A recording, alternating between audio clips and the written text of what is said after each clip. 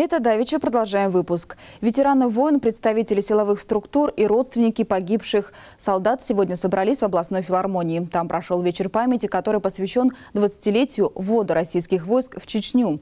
На мероприятии побывала Елизавета Халикова. Возложить цветы к памятнику воинам-интернационалистам сегодня пришли сотни кировчан. Родственники, сослуживцы и друзья тех, кто погиб в Чечне в 90-е. Многие с трудом сдерживали слезы. У меня сын погиб.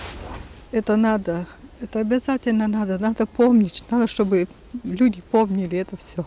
После уже в филармонии собравшиеся вспоминали, какой ценой далось спокойствие на Северном Кавказе. Через ужасные испытания прошли около 17 тысяч кировчан. Из них больше полутора тысяч получило награды за участие в локальных военных конфликтах. 227 человек погибли. Сегодня мы будем говорить о тех наших боевых друзьях, кого с нами нет.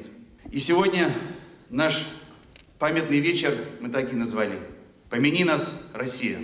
Почтить память героев сегодня в филармонию приехали и представители власти. Среди них глава города Владимир Быков, который сам принимал участие в боевых действиях на Северном Кавказе. Я думаю, что этот день памяти для каждого присутствующего в зале, он каждый день.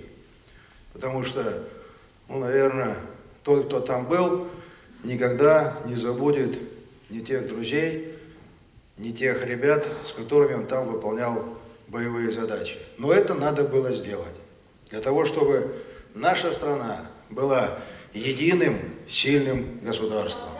Первая чеченская война началась 11 декабря в 1994-м. Спустя годы в память о героических подвигах именами героев называют улицы, их фамилии отливают в граните. А те, кто прошел все ужасы войны и выжил, стараются сделать так, чтобы история не повторилась. Елизавета Халикова, Александр Брызгалов, Бюро новостей Давича.